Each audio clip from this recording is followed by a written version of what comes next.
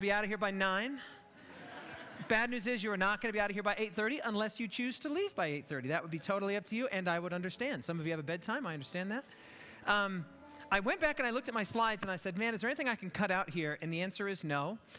Um, but I'm going to go through it really fast through the first four points, and then I'm going to slow down on the fifth point because it's the most important one. Well, that's going to make you not listen to the first four, but it's, it's my favorite point, and I, I can't wait to share it with you. I'm literally jumping out of my skin. By the way, Jamie might mention this. Oh, I was going to do the little drawing, but I'll do that later. Do that later. We don't have time. You guys don't know the answers anyway.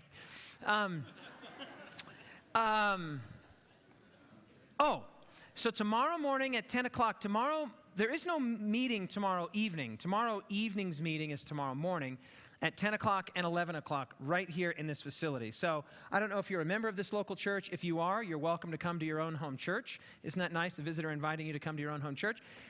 And if you're not, then you can play hooky on your home church uh, and come here. And if you don't normally go to church on Saturday and you're typically go to church on Sunday, well, then, hey, you, you're free. you're free. So, so we'll be here tomorrow morning at 10 o'clock and I'm going to talk about five good reasons to doubt Darwin. And then 11 o'clock, I'm going to tell you five good answers to the question of suffering. And so we're going to go now to five good reasons to believe that God is good. We spent our first um, time, first session, just over an hour, on how. Uh, reasons to believe that God is good, or God exists, rather. Five good reasons to believe God exists. And now we transition from his mere existence to his character. Well, okay, so he exists. Who is he? What is he? Is he good? And if so, how do we know that? And I'm going to give you five good reasons to believe that God is good. All right, so let's uh, have a quick prayer and we'll dive in. Father in heaven, great to be here with these beautiful people, Lord. I just I feel a real energy in this room, a happiness in this room. And um, thank you for this little snack that we got here on the break. And be with us now, Father. May our brains be energized for a good 40 minutes of really power packed, biblically based, spirit filled instruction and I'm looking to you and, le- and leaning on you, Father. In Jesus' name, amen.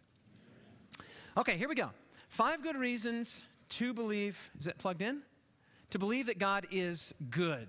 All right, reason number one. By the way, do you love that picture? Can you see that picture? The projector, or the, the screens don't really do it justice, but let me tell you about that picture very briefly. I took that picture in the most beautiful place I have ever been. Does anybody know where that is? I'd be amazed if somebody knew. It is not New Zealand, but that is the second most beautiful place in the world. It was the most beautiful place in the world, in my opinion, right up until I went to this place. Um, let me see if I can give. No, nobody's going to know where this is. Okay. This is a place called. Let me tell you a story about this place. The youngest man, the youngest person that ever has been to every country in the world, he just recently completed his journey. He did it by the time he was 28 or something like that, or 32. He's very young. And he'd been to every country in the world. And I read an interview with him, and they asked him, What was the most, what was your favorite place or the most beautiful place you went to? And he said, Lord Howe Island. And that's what you're looking at right there. Lord Howe Island is an island about an hour and a half flight off the coast, the east coast of Australia, and it is astonishingly beautiful. By all means possible, get there before you die, if possible. If not, I think heaven's going to be better, but maybe not by much because it's pretty awesome. Okay. So, anyway, reason number one to believe that God is good is He created the universe and He created our world and He made them really good. Scripture says these words again and again and again in Genesis chapter 1 and God saw that it was good God saw that it was good God saw that it was good God saw that it was good. And then it closes Genesis 1:31 with these words then God saw everything that he had made and indeed it was very good. So the evening and the morning were the sixth day. Now if I say that something's good because I am a fallen human being who has a compromised standard of goodness, it may not be good by your standard. Um, I might hear a song and say that's a really good standard, but you might be a professional musician and think that my song is not a good song. Or I might see a painting and think, hey, that's a really good painting, but you might be a, a very talented painter and look at the painting that I think is a good painting and say that's not a good painting. So my standard of goodness is compromised and qualified by the person that I am. God's standard of goodness, though, is infinite and it is infinitely perfect. So if God says something is very good, that means it is astonishingly good by our standards. And so, in the beginning, when God created, He made the universe and the world very good. So, let me just talk to you a little bit about so much of the good that is in the world today. First of all, companionship and friendship. Right? These are two things that, that we easily take for granted because we were born into a social reality. We take a social reality for granted. But the truth of the matter is, is that when you, you step back and just think about the nature and the beauty of having a best friend or close friends or a circle of friends, or for those of us that are fortunate enough to have a spousal companion that we regard as our second self. Some people say, oh, my wife is my best friend. I, I feel like the, or my husband is my best friend. I feel like the language best friend falls so short of the nature of the relationship that I have with my spouse. She is not my best friend. She is so much more than a best friend. She's my second self. She knows where my wallet is when I don't know where my wallet is. She knows what I'm trying to say when I don't know what I'm trying to say. You know, she, she is the mirror image of me. She is strong in all the places that I am weak, and she's weak in some of the places that I am strong. Together, we, we fit together in a synergistic, synchronistic way that is indescribable. Truly, in Genesis 1 and 2, God said everything was good, good, good, good, good, good, good, but He said there was one thing that was not good, and He said it is not good that man should be alone. And if you are fortunate enough or blessed enough to be in one of those marriages where you're not just surviving, you're not just in an economic relationship with somebody that you share a bed with, and occasionally, you know, you negotiate terms, but you really have a connection with that partner, this is a beautiful gift. It can be, that's all it can be described at as is a gift, a gift from God Himself. If you don't have that, hey, listen, certainly you have friends, companions, associates. It's a beautiful thing, and we're surrounded by it, and we take it for granted. We don't all take it for granted, but it's easy to take it for granted. That's probably the better thing to say. The second one here is love and sex.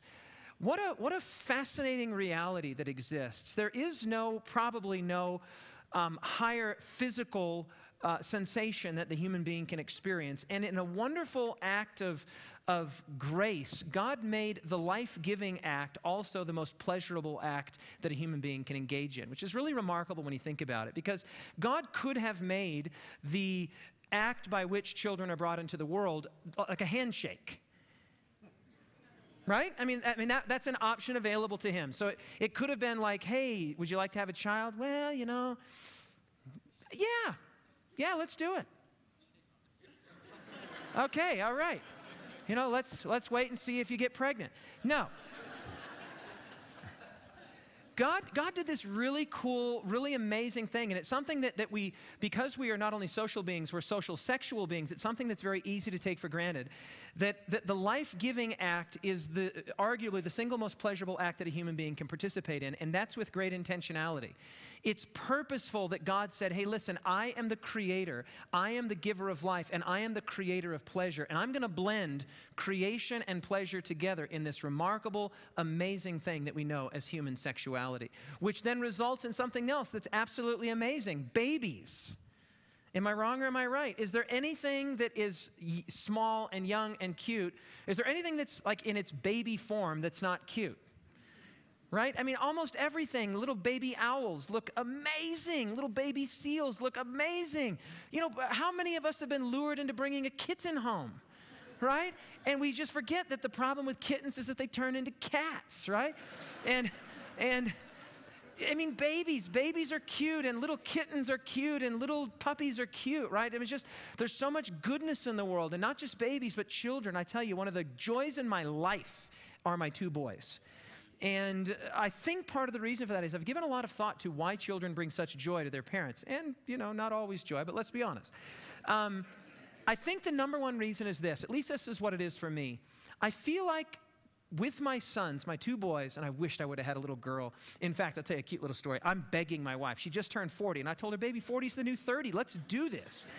and, and I'm just begging her to have a child, a little girl and uh, and she's just not having any of it. But I'm just I'm still working the angles. I'm like, hey, listen, let's do this. Working. She's not feeling. But anyway, here's the point.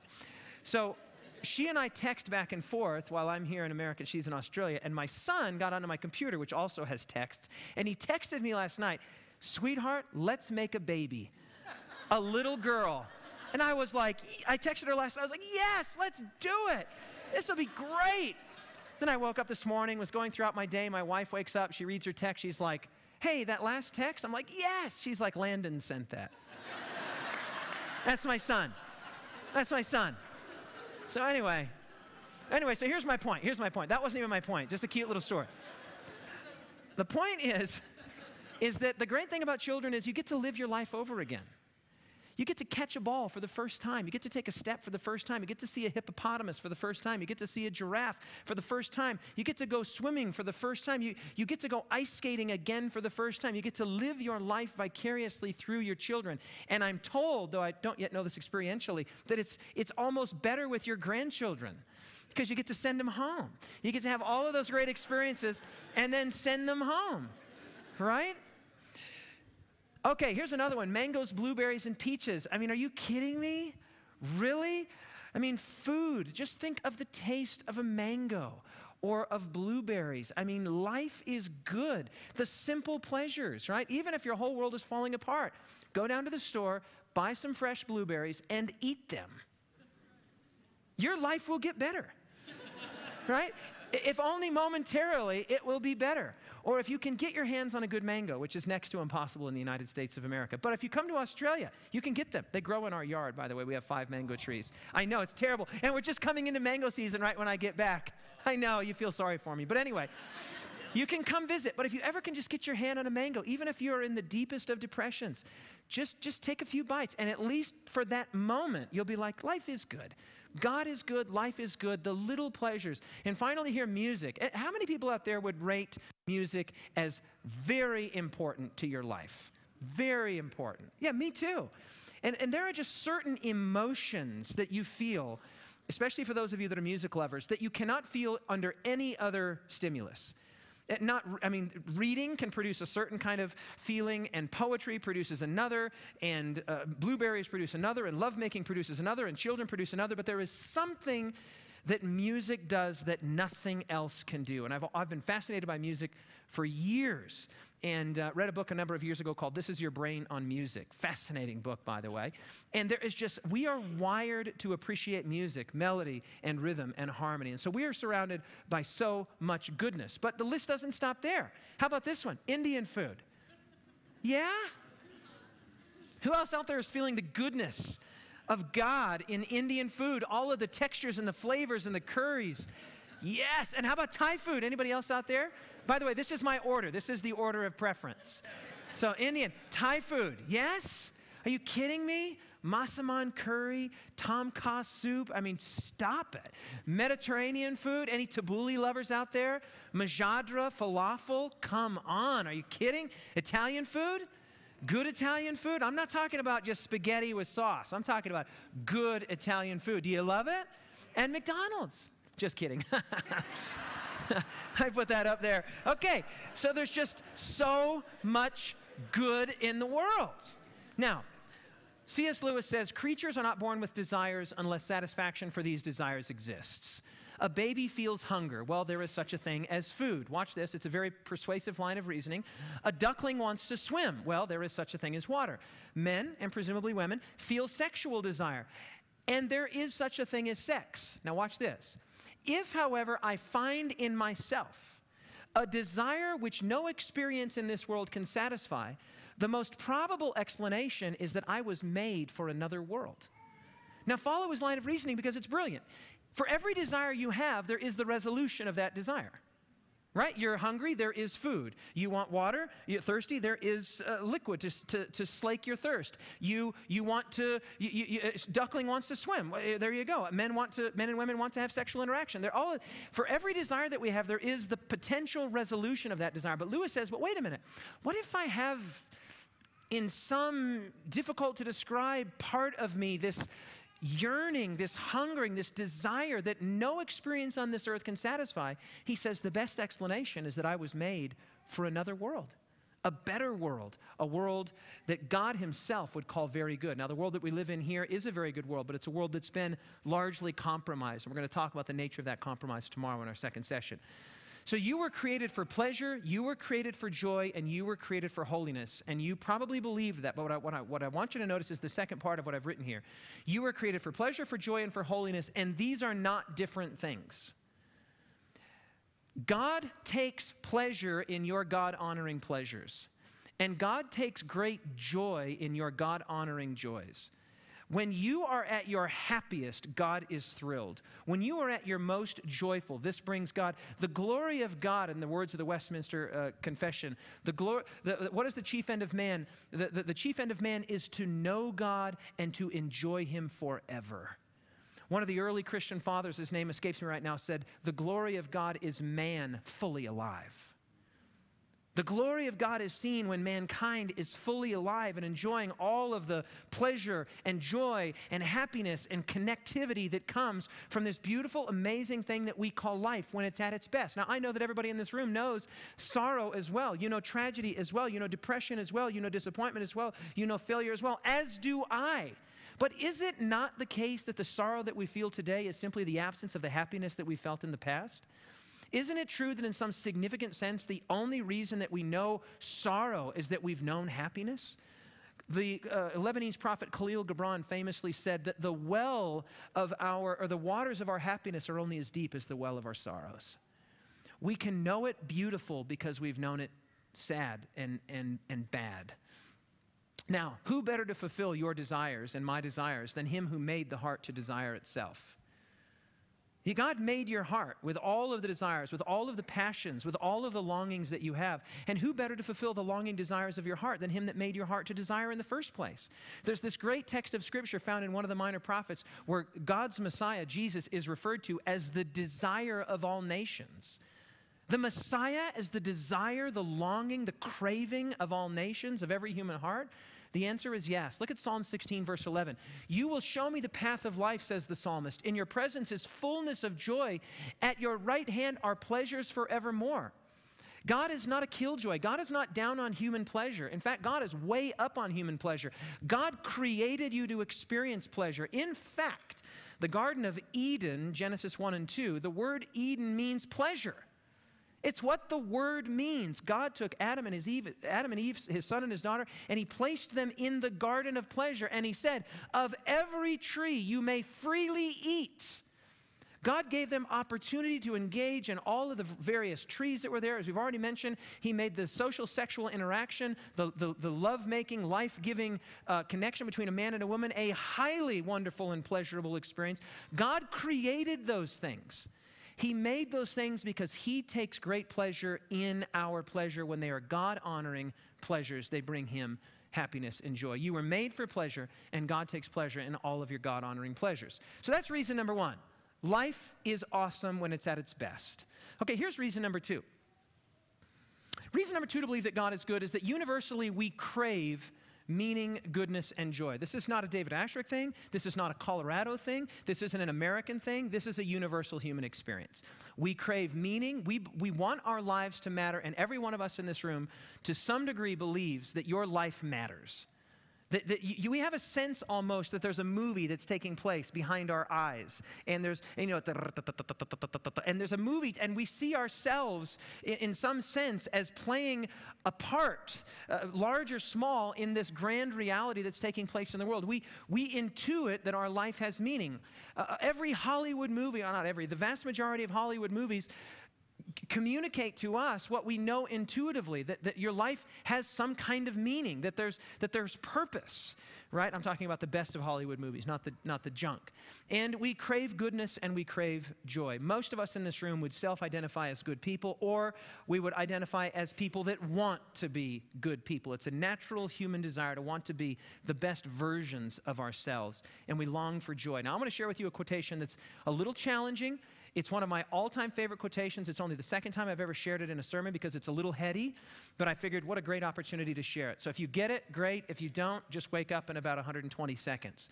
This is from Simon, uh, Simone Weil. She's a French Christian philosopher uh, who lived in the early 1900s, and she writes In the period of preparation, the soul loves in emptiness. It does not know whether, whether anything real answers its love. She's describing the experience of the person who is not yet connected with God. And in that period of preparation before we come to God, the, the, the soul loves, it longs to love and be loved, but it does so in emptiness without any fundamental or foundational connection. And she says, the soul does not know whether anything real answers back in that love. Right? She continues, it, it, may believe that it knows, but to believe is, is not to know. Such, the, such a belief does, does not really help. The soul knows for certain only that it is hungry. Now, we're going to see this is the very analogy that Jesus himself used. The soul knows that it is hungry. The important thing is that the soul announces this hunger, this longing, this craving by crying. And every one of us in this room knows that feeling that feeling of longing. Why am I here? Why did I treat the person that way? We, we crave meaning and we crave an answer. We, we want God and we want to know that He's there. The important thing is that it announces its hunger by crying. A child does not stop crying if we tell it that there is no bread. The child's crying, child's hungry, and we say, Well, there's no bread. Oh, there's no bread, I'll stop crying. No, the child continues to cry because the hunger is real. It goes on crying just the same. The danger is not lest the soul should doubt whether there is any bread, but lest by a lie the soul should persuade itself that it is not in fact hungry. It can only persuade itself of this by lying, for the reality of its hunger is not a belief, it's a certainty. You see what she's onto here? She's onto this reality that we know at our most fundamental level, we long for something bigger than ourselves. We long for beauty. We long for joy. We long for meaning. We long for purpose, and we know it. And when our lives fall short of that ideal that we want to attain to, we feel a sense of, of crying. Now, not everybody does this because nowadays we're so distracted with Facebook and social media and television and computers that we don't even, we've lost the art of reflection and self reflection. And, but in those quieter moments, back before the advent of televisions and smartphones that are making dumb people, we, there were opportunities to sit and reflect on the nature of life and to not be uninterruptedly distracted by a thousand pictures and a thousand posts and a thousand things that are calling for our attention. Okay? And what Weil says here is so true. In those quieter moments when we are falling short of the grand ideal of a true soul connection with God, we know that we hunger and thirst. How did Jesus say it? Hunger and thirst for rightness, for holiness, for goodness. The God that our heart craves is the very God that Scripture reveals. Well, isn't that a happy coincidence? The very God that our heart longs to be real, that we hope is real. Uh, uh, in the words of my good friend Ty Gibson, the longing desire of every human heart is to be fully known and yet fully loved. And this is what we wrestle with. Because most of us operate under the assumption, whether or not we would ever say so or not, that if we were fully known, we could not be fully loved. But what do we do with the God of Scripture who knows us exhaustively and loves us completely? To be fully known and fully loved, if that were true, would be the greatest of all possible joys and pleasures. I want to say that again. To be fully known and yet to be fully loved would be the greatest of all possible joys and pleasures. Yes? The very God that we want to exist, the very God that our heart cries out for, does exist. And not only does he exist, he's revealed in Scripture as amazingly good. And of course, it just stands to reason because the God who created our heart created, as Augustine said, in our hearts a God shaped void, a, void that cannot be filled with alcohol or entertainment or, or illegitimate relationships. It can only be filled with the one who made the hole himself, and he made that hole in his own shape. Mm. Matthew chapter 5, verse 6 Blessed are those, Jesus said, who hunger and thirst for righteousness, for they will be filled. This is the very point that Simone Weil was making. The soul hungers, but what is it hungering for? It's thirsting. Jesus purposefully doesn't say here, you know, this is academic, this is intellectual, this is cerebral. No, Jesus uses something that's more visceral than that. It's more uh, to hunger. I mean, how, how, how do you know when you're hungry? You just know it. Your, your body begins to say, hey, look, there's a, there's a vacancy here. There's a need here. We need something. And in the same way, there's a vacancy in us. And we say, hey, I need something. I'm hungering and I'm thirsting. What, what is better in life than when you're really thirsty and you get to drink cold water or some cold beverage or refreshment. Man, you're in Colorado. Man, the beer companies make they make millions of dollars off of selling that imagery. Now, I don't know how anybody can actually enjoy beer, but people apparently do. But but the whole idea that when you're super thirsty, you just want to slake that thirst with something cold and refreshing. Are you with me on that? Just awesome. I can remember some of my best memories. I think I was severely dehydrated as a boy because I can remember some of my best memories were making it to the water fountain after recess as a boy and just like looking at the water fountain and be like, this is going to be so good. Does anybody else have that experience? I think I was just hugely, severely dehydrated. And when I'd get there, I couldn't swallow hard. I was like, ugh, ugh, ugh, ugh. I mean, just, just like forcing it in, and I just stay at that fountain. And I remember kids used to say to me, hey, save some for the fish. You know, just like, ah. John chapter 6, verse 35, Jesus says, I am the bread of life. Does, your, does our heart hunger for something of sustenance? It does, of course. Our heart hungers. In the words of G.K. Chesterton, I love this. He says, the purpose uh, of an open mind is very similar to the same, is very uh, similar to the purpose of an open mouth, to close around something solid right? We, we, we hunger and long for something substantive, something solid. And Jesus says, I am the bread of life. He who comes to me will never hunger, and he who believes in me will never thirst. When Jesus finds his place in that God shaped hole, that, that vacuum in our heart, we become fully alive. We become the people that we were created and saved to be. And it's a beautiful, happy thing. And it's an evidence that God is good. Number three, our reality, the reality that we exist in, is compellingly explained in the context of these three words that God is love. Now, I'm going to explore this in depth in our second presentation tomorrow, but I'll give you a quick introduction. Here are things that we take for granted intuitively. If your brain is working correctly and you are alive and breathing, then you take these things for granted. You don't have to be taught them. From a child, you begin to intuit them. Individuality, you knew that you were not your brother, you knew that you were not your sister, you knew that you were not your parents. You, you, the most fundamental reality to human experience is that you are an entity right? This goes back to Rene Descartes when he was beginning to wonder what we could firmly base a philosophical system on. And he finally famously said, I think, therefore I am. When you reduce life back to its most fundamental axiom, every one of us knows that we are an individual and that we are not somebody else. You are who you are and you are no one else. Our individuality is something that we cannot not, it's something that you can't, uh, you, you, it's impossible to not imagine it. And let me give you an illustration. I'm not doing a good job here. You cannot imagine your own funeral. Okay? Has anyone here ever tried to imagine their own funeral? I mean, uh, most people have. Okay, I have. The problem is, is that it's not real. You're not actually able to do it because you're there seeing it. Right? You cannot imagine your own non existence because you're there imagining it. You follow?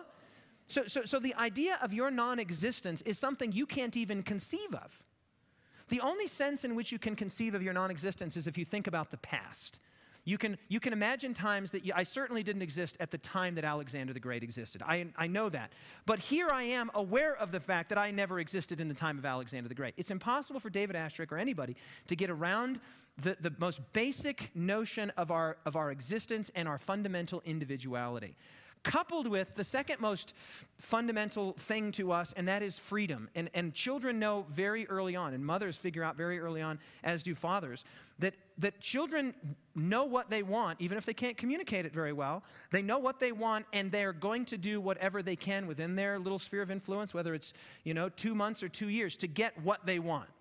Am I wrong or am I right? So, before a child can ever say anything, communicate in language, he or she understands freedom intuitively, incorrigibly. A child understands natively, hey, I want whatever that is. I want to do this. And if you if you make a child do something they don't want to do, they understand that their freedom is being restricted and they don't like it. Now, you and I, we're no longer children, but we know this, and this is easily illustrated. If you and if I was just walking down the street or you were walking down the street. Just imagine you're walking down the street, any street, anywhere, and somebody reaches out to you, walking, you know, say somebody's coming at you. And as you walk by, they reach out to you and start with force, with strength. A man, a grown man, grabs you and starts pulling you in an, uh, against your will, starts pulling you in an opposite direction. You won't think, you know, this is, I don't want this. I don't, not really wanting to go with this strange bearded man in a stinky flannel shirt. I, um, I think I'm going to resist now. No, you will, before you ever entertain any ideas about the nature of your freedom and where this guy is taking you, you will instinctively resist. You follow that? Because you know intuitively that to, to have your, fr- your freedom impinged upon is something you don't like. When we punish criminals, how are criminals usually punished? By the restriction of their freedom. Because we understand that to limit somebody's freedom is to take away, in some sense, their personhood, to take away, in some sense, their individuality, to, in some sense, take away the thing that makes them human. You with me on that? And so, number one, your individuality. Number two, your freedom. And number three, love. And I'm going to really talk about that tomorrow. So I'm going to skip over that. I'm going to skip over risk because I'm going to talk about that tomorrow. And number four, or number five, meaning, I've already talked about. These are things that we take for granted. We just assume these basic realities about our life individuality, freedom, love, risk, and meaning. We'll pick it up tomorrow. In the words of Lewis again, to be to love at all is to be vulnerable. And by the way, that is true whether you are a human or God. That is true even for God. I'm going to talk to you a little bit tomorrow about a book I'm reading right now, brand new book just published 2015 by a man named Dr. John Peckham. And he wrote a book called The Love of God, a canonical model. Mind blowing. Seventh day Adventist scholar. Mind blowing book. And uh, one of the things that he's exploring in this book is the, the intrinsic vulnerability that is part of loving not only to humans and every one of us in this room if you've ever had your heart broken you've ever been betrayed you ever had a child lie to you we know that the moment we extend ourselves in love, there is an inherent and essential vulnerability that comes with that love. You with me on that? And what, what, what Peckham brings out, and what Lewis brings out here, is that that's true for God too. God is making himself vulnerable in love. And you'll see this at the end. I've got to hurry up. Love anything, says Lewis, and your heart will certainly be wrung and possibly broken. If you want to make sure of keeping your heart intact, you must give your heart to no one. Don't give your heart to anyone. Here's, here's how you keep your heart intact. Wrap it carefully around with hobbies and little luxuries. Avoid all entanglements. Lock your heart up in a safe in the casket of your selfishness. But in that casket, safe, dark, motionless, airless, your heart will change. But it will not be broken, it will become unbreakable. It will become impenetrable. It will become irredeemable. You see, the only way to protect your heart from vulnerability is to create a situation where your heart becomes something it was never created to be, and that is stony and, and not extending. There is a, there's an inherent strength and yet an inherent vulnerability in love and reaching out to someone else. And Scripture communicates this in three basic ideas. In fact, these are the three basic ideas that are foundational to the whole Bible. People say to me, What's the Bible about? And there's a couple different ways to answer that question. There's two answers I like to give when people say to me, What is the Bible about? One answer I like to give is the Bible is the story of God making promises to a man named Abraham and his descendants and then keeping those promises. That's the story of Scripture in a nutshell. God making promises to Abraham and his descendants and then keeping those promises. That's one way to say it. That's sort of the narrative way to say it. The thematic way to talk about what the Bible is is the three words that you see on the screen there the Bible tells the story of creation, which we've been exploring in Genesis 1 and 2. It tells the story of conflict, which we're going to pick up tomorrow in depth. And it tells the story of covenant, which is simply another way of saying relational faithfulness. That there was creation, that there was conflict, and there is relational fidelity. That God has, in an act of inherent vulnerability, extended himself. As we learned last night from Alvin Plantinga, the gospel is not just a nice story. Plantinga said it's the most beautiful story that could ever be told. And remember, I gave you homework. Try to imagine a better story. There isn't one. You cannot conceive of a better story than the story that Scripture tells, which is the basic story of God giving Himself. And we're going to see this in just a second. I got to hurry this up. Reason number four Jesus came from God and is God, and He's really awesome. Sometimes you just got to say it like it is. John 3:16, for God so loved the world that he gave his only begotten son that whosoever believes in him should not perish but have everlasting life. Jesus said, if you have seen me, you have seen the Father Jesus Christ. As I mentioned last night, if God looks like Jesus, that's really good news. If God looks like somebody who finds a woman who was caught in the act of adultery and who says to her, I do not condemn you, go and sin no more, he sees a future for her, he sees a possibility for her that she cannot even see for herself. If God will sit down with a publican, a tax collector, if God will sit down with a Pharisee named Nicodemus and interact with him, if God will speak to a hated publican named Zacchaeus and go eat dinner at his house, if God will speak to a Roman centurion who was hated because he was a Gentile, doubly hated because he was a Roman, triply hated because he was a Roman soldier, and quadruply hated because he was a leader of soldiers, if Jesus can say to this guy, I've not seen so great faith in all of Israel, if God looks like that, that is really good news. In fact, it's the greatest conceivable good news. And as I mentioned last night, can you think of a better, more beautiful story? I'll answer that for you. The answer is no. Okay, number five. Now, I, wish I had an hour to talk about what I'm going to talk about here in the next 10 minutes. 10 minutes. If my son was here, he'd be laughing his head off. All right, now this is going to require a little bit of thinking. One of the reasons that we can be sure that God is good is that the gospel, the life, death, and resurrection of Jesus, is not a two party, is a two party arrangement, not a three party arrangement. Okay, now you're sitting there going, you're making that face. You're making the, It's a little late for that, don't you think? Okay, let me explain what I mean by this. We just quoted John 3:16, for God so loved the world that he gave his only begotten son. That's a verse that we all know and we all know well. But what do we do with this verse? Jeremiah chapter 19, 4 and 5. God says, speaking of Israel, they have forsaken me and they have made this, Jerusalem, an alien place. God's city, he says. It's an alien place. It's a foreign place. I come here, I feel like I don't even belong in my own city, my own town among my own people. Well, why not, God? Why do you feel like a foreigner in your hometown? Well, because they have burned incense in it to other gods, whom neither they nor their fathers nor the kings of Judah have known, and they have filled this place with the blood of innocents. More specifically, what do you mean? Verse 5 They have built the high places of Baal to burn their sons with fire for burnt offerings to Baal, which I did not command or speak, neither did it come into my mind. Now, let me just tell you what's going on here. In the ancient Canaanite religions, one of the ways that you could show your supreme devotion to the various gods of the Canaanite faith was by sacrificing your child. Sacrificing your child to God. And God says, you know what? I came to, to my place, my city, my people, and I felt like a foreigner there because my own people began to participate in the actions of the Canaanites. They were offering their children as offerings. And he says, not only do I find that repugnant, not only do I find that absolutely disgusting and revolting, it never even came into my mind to ask for such a thing. Okay, but, but wait a minute. We just read a second ago that the good news is that God gave his son. But God here says, I never even imagined the idea of child sacrifice. So which is it? Which is it? Is it John 3:16 or is it Jeremiah 19? I mean, is the gospel the good news that God gave his son? As a sacrifice? Or is the idea of child sacrifice something that never even entered into God's brain? So repugnant, so disgusting that it never even came into his mind. What's going on here? Well, most of us would have a difficult time answering that question, but I want you to understand just how crucially important this question is. And it is proof positive that God is good.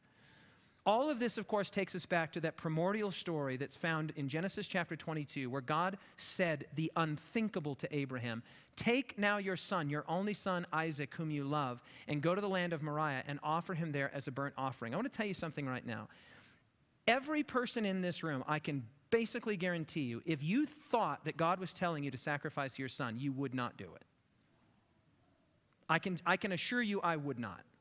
If I had a voice that came to me that said to me, hey, go kill Landon, go sacrifice Landon, I would not do it. And I am 99% sure that no father or mother in this place would do it, which raises the question why was Abraham willing to do something that I wouldn't even consider? And here's why.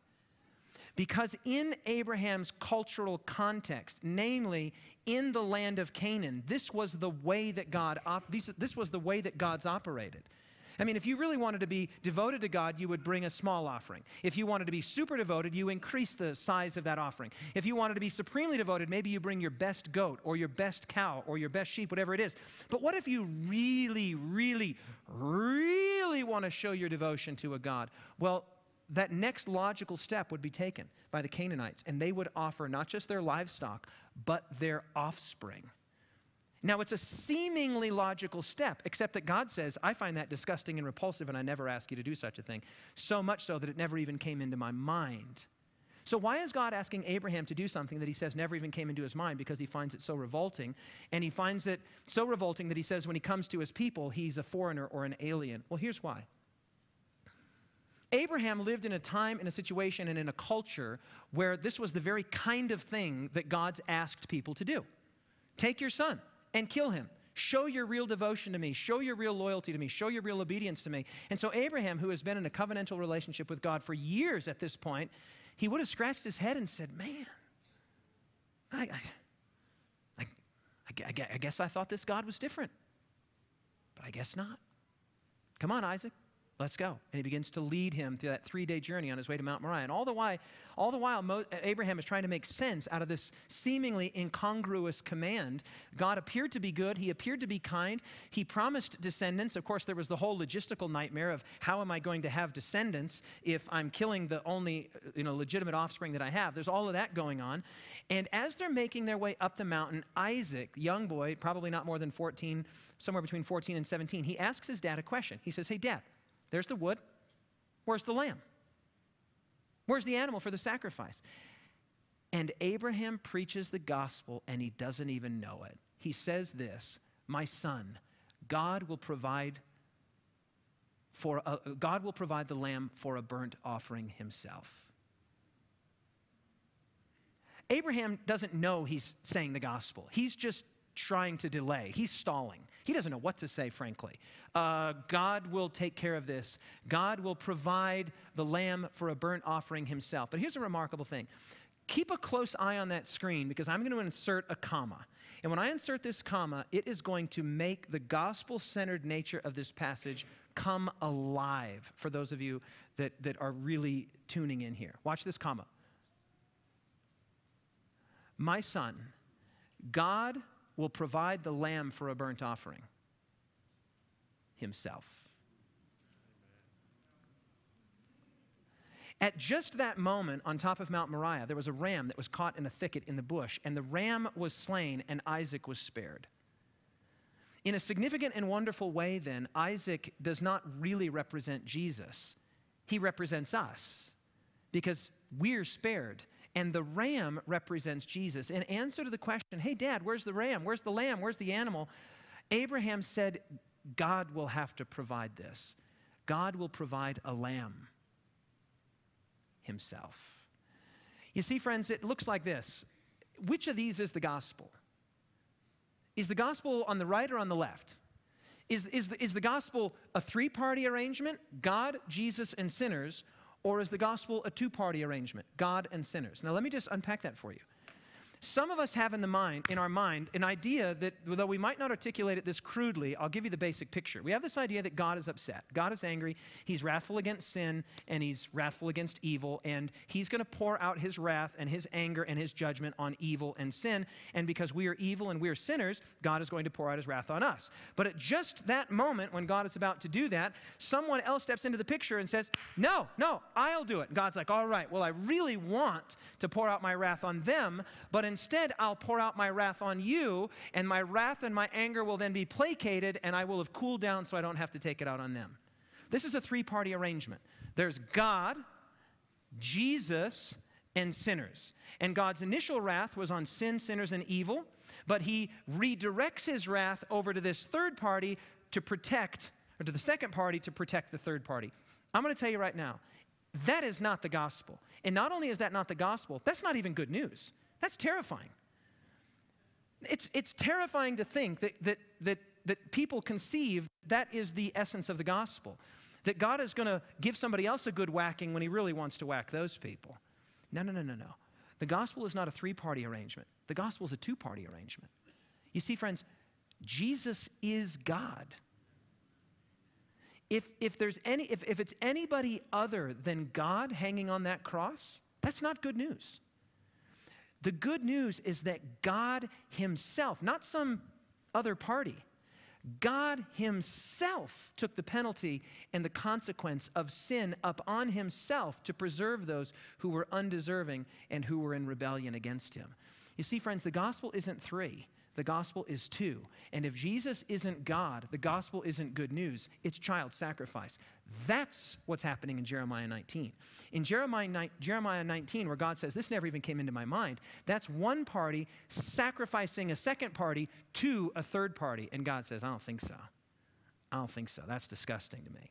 The truth is, is that there's only two parties in this arrangement. There's God and there's sinners. And God, in the person of his son Jesus, who is fully and completely God, in, the, in the most uh, emphatic sense of what it means to be God, he laid down his own life. In fact, Jesus said it this way No, no one takes my life from me. I lay it down myself. I like to ask the question who killed Jesus? Did the Romans kill Jesus? Did the religious leaders of Jesus' day kill Jesus? Did our sins kill Jesus? The answer is none of the above. Jesus laid down his own life. He said, No one can take my life from me. I lay it down voluntarily and I take it up again. He was not a third party or a second party that was sacrificed to appease. He was one of only two parties. There was God and there was sinners. And God took upon himself, in the person of his son Jesus Christ, who was fully God, the consequences of our sin and our rebellion. And that is really, really, really good news. Greater love has no one than this, than a man than, than someone would lay down his life for his friends. The text doesn't say, Greater love has no man than this, than a man would lay down the life of his friend.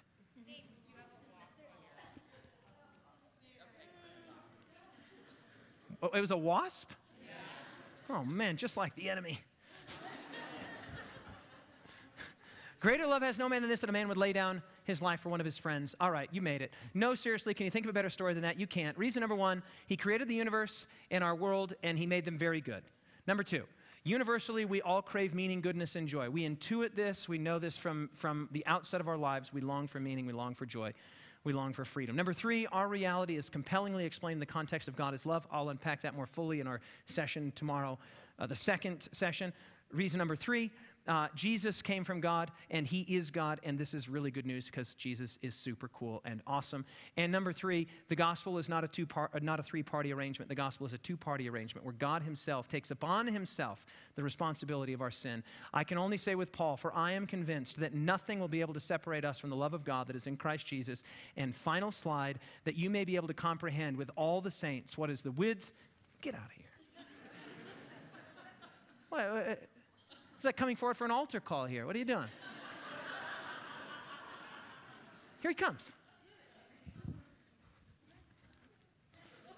Get behind me, wasp. Oh, he's coming back for more. I never had this happen before. I've had some weird things happen in my meetings, but never this. Okay, anyway, where was I at? What is the width and length and depth and height to know the love of Christ? And I love this, which passes knowledge. I've done my best tonight in a long time. You've been very generous to communicate to you with, with my intellectual capacities and my research things that I find really compelling. But at the end of the day, Paul says, this love, this kind of love that we're talking about, it cannot be quantified in words. It cannot be quantified in academics. It cannot be quantified in knowledge. It passes knowledge that you may be filled with all the fullness of God. It's been great to be with you. Let me close with prayer. Father in heaven, beautiful people in this room. Uh, and, and yet, we are people broken. And, um, but in our brokenness, Father, as we've mentioned here, you love us. You know us perfectly and love us genuinely. And Lord, this is an astonishing thing. It's a thing that we can scarcely come to grips with. And uh, tonight, I just want to pray for every person here, for that person that's suffering, struggling, wondering, doubting. Um, Father, just give them a sense that life is a beautiful, meaningful thing that you have created for good, and that you want them to be a part of that, whether small or great, Father. Help us to be that puzzle piece, that uniquely shaped piece in this grand painting that you're, that you're creating, that only we can fill. And Father, help us to do that. And we look to you. We love you. But we know, Father, that that's not the big story. The big story is not our love for you, but your love for us. And uh, send us home tonight, hearts full with the breadth, height, width, depth of the love of God, the fullness of God shown to us in the man Jesus Christ, in whose name we pray. Amen. All right, nine o'clock. Not bad, not bad. Ah, we're good, we're good, we're good. It'll be better tomorrow morning. You'll be out. Of, I, let me make a promise. Uh-oh, I make a uh-oh. solemn promise. Tomorrow I will have you out of here by 8:30 p.m.